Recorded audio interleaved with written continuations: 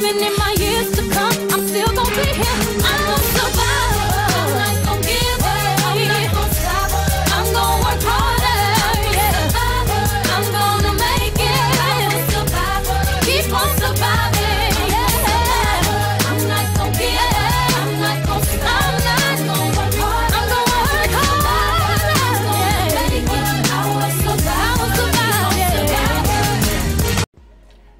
Hey Nomies, it's me Nesha and I'm coming to you with another sickle cell vlog. I'm gonna stop telling you guys, oh my god, I'm sorry I haven't recorded. You know what, I'm lying. I'm gonna keep saying that. okay guys, I'm so sorry that I haven't been here like I would like to, but I'm gonna get better at that. Um, this is a sickle cell vlog that I've talked to other warriors about it in um the sickle cell groups on Facebook and even through email and comment and comments and all that stuff. But I want to do a full out video on it. As you can see from the title, it's about sleep aid Now, even though I want to just make a disclaimer about my videos and my channel, period. Even though my videos say sickle cell vlogs, that does not mean that it can't help other diseases or other health issues. I just say sickle cell vlogs because I have sickle cell and that is these are the things that helps me with my sickle cell. So I just want to put that out there. So um these sleep aids are I'm going to put this disclaimer out there. These are sleep aids that I use that work for me that my doctor has approved and okayed. So I don't want people down in the comments. Well, I mean you can, but you know I, I am the deleting queen of comments that I don't like. But I don't want people in the comments like, that's not what that's for, or you shouldn't be doing that, or you shouldn't mix this, or you shouldn't do that, and this, and that, and that. This is what works for me. I'm just sharing it because someone shared it with me, and it helped me, so I'm hoping that it will help you. So let's go ahead and get started because I have a whole list of things.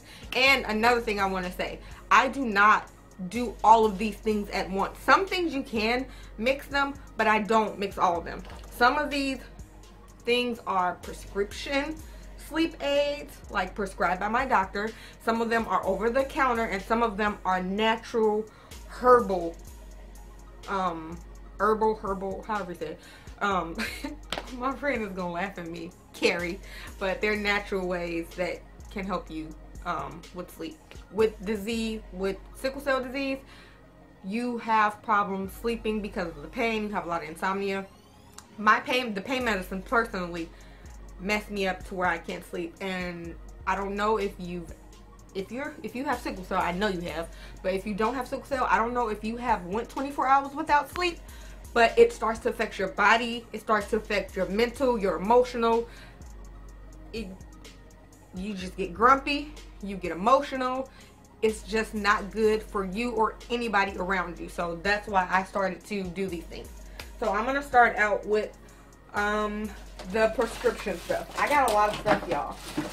So the prescription thing that my doctor prescribed me that I sometimes take to aid in sleep is Xanax. And if you watch my medication video, you will know that I am prescribed Xanax. So Xanax um, people use it for anxiety as well. I do use it for that too sometimes. But when I, I don't take it that often, so when I do take it, it does, it basically brings me down and makes me be able to, you know, drift off to sleep. So that is the one thing that my doctor prescribed. But I don't take it very often. I literally might get this prescribed every, I don't get it prescribed that much. Let's just say that. Um, but I do get it prescribed. Um, the next thing that is a medication, but it is over the counter that my doctor, this is not what it's for, but this is what my doctor, she did say that I can use it. Benadryl. Everybody knows that Benadryl makes you sleepy. So my doctor has even told me, like, if you can't sleep, take some Benadryl. So that is one thing that you can take. And then I don't know if some of you um, I know I get Benadryl when I'm in the hospital because the IV meds make me really itchy. Sometimes I get a little itchy at home from the pain meds. Not nowhere near as itchy as I am in the hospital, but just just a teeny bit. So that also helps with that too. And the next thing, guys, is it's also a over-the-counter med, and it's ibuprofen PM, or you can use Tylenol PM, Advil PM, Aleve PM, all.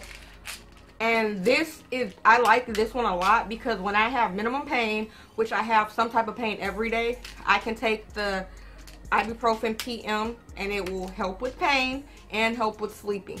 And this is over the counter. My doctor also approves of this. And the reason I have I get ibuprofen or Aleve is because I take Norco and Norco has Tylenol in it. So I I don't really buy Tylenol that often because if I have to take my Tylenol, then I, I mean, if I have to take my Norco, then I can't take the Tylenol. You shouldn't put that much in your system. So this is another one. The other over-the-counter prescription one that I use is NyQuil, NyQuil. Well, this is a generic Walmart brand. I actually like the Walgreens generic brand the most. It's the less, the least disgusting. This one is really nasty. It's supposed to be some berry flavor and it's nasty. It's hideous. It tastes like cough syrup. But this stuff works like that. Like it really does work. And let me just say this. The reason that I have so many different types of sleep aids is because my body, how it is with medicine is if I take something all the time, that same thing all the time, my body gets used to it and I end up having to take more and more and more for it to work. So I have all these different kinds that I basically rotate. I randomly pick the ones that I want to use so that way my body doesn't get used to something. So you know, technically anything, when you have a, a serious illness and you take prescription medications, you should check with your doctor before you take any over-the-counter medication. But so I have checked my doctor on everything I'm going over with you, she knows about.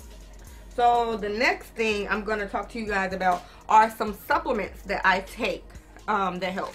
The first one is melatonin and basically it's a supplement it's a vitamin basically. And I just take the three, um, it's three milligrams. It's a really little pill. And it also works. You should take this 30 minutes before you go to bed. This is actually something that you could take every day if you want. Because it's a supplement. So you could take it every night if you like. Um, the next supplement that I take is called L-theanine. And it is, this one is 200 milligrams. And it doesn't really help with sleeping, but it helps with relaxation and calmness. So basically you feel like when you take it. So you don't feel high or anything like this with any of these things. If anything, you feel sleepy and you feel tired. So this basically, I've even taken this in the daytime.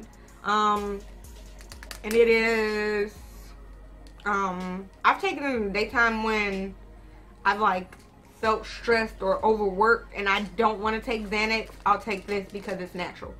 The next thing is CBD oil. And CBD oil is, it's a long, it's a whole long process. I don't want to go into everything about this, but it's basically hemp oil. Hemp oil is a um, cannabis plant. It's not weed. It's not marijuana and basically it's I got it apple flavored. And I actually got this from a vape shop like where you can get smoke um things to people that smoke the vapor pens. I got this from there. It's 100% natural. You can also order it online. Right now this is legal in all the states. The government is trying to make this like medical marijuana but it's not like medical marijuana. You don't get high off of this. It does help with relaxation and bringing you down. This has so many benefits. It also helps with yes ptsd people with that take this. People with anxiety take this. Um, people with adhd take this add this just if you really want to know more about this check it out. If you are worried about drug testing when you take this from the research that I've done and talking to my doctor. My doctor also does, my sickle cell doctor does know that I use this. She basically told me that this would act how Xanax acts, but at a lower, um, lower level. So she basically said this is a natural, basically a natural Xanax. And there's different milligrams. Uh, oh, it's 100 milligrams. They go down to as low as 10 milligrams. Um, so yeah, this this definitely helps. I've taken this for sleep, sleep to help me sleep. I've taken this to help calm me down, just to you know bring myself down. So yeah, this helps as well. And if you, if any of these things that you guys want a more detailed explanation about, leave the comments down below, and I'll be happy to do a video about it. And the next thing that I have is so simple. Everybody probably does this, and that is soaking, taking a bath. This is just like, if I really can't sleep, I would do this thing before I did any of those things. So I would either take a bath or shower, and I have some things that help with relaxation. Um, eucalyptus and spearmint. It's for this one is from Bath and Body Works, but Walmart even even has a brand. I have some oil and soap from Walmart that have this scent.